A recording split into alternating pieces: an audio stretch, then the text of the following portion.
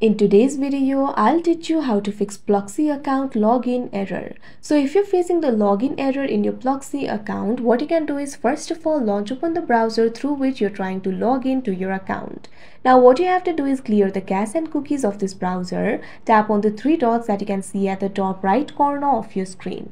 Now you'll be able to find various options over here. Find the option for delete browsing data and tap on it. Now you can see over here you'll be able to delete the browsing data data, make sure cookies, cache and other site data is selected. Now tap on this option delete data that you can see on the screen. Now the browsing data has been deleted. Now what you have to do is simply tap on the search bar, type in pluxee.in forward slash login. Now search for it. Now after you do that, you'll be led to the official login interface of Pluxee. You'll be able to find two options over here, consumer and client. Simply tap on the login option of your choice. Now after you do that, you'll be able to log in to your account. What you have to do is enter your email or mobile over here. Tap on the field of email or mobile. Now simply provide your email address or mobile number over here. Now tap on this option submit.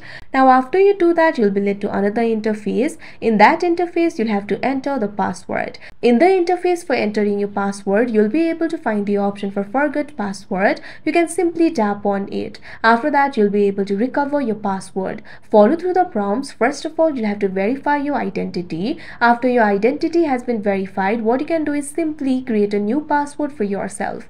Create a new password for yourself and try logging into your account with the new password. After that, your error should be fixed. So like this, you'll be able to fix your error. So that is how you fix Pluxee account login error. I hope you found this video helpful. Thank you for watching.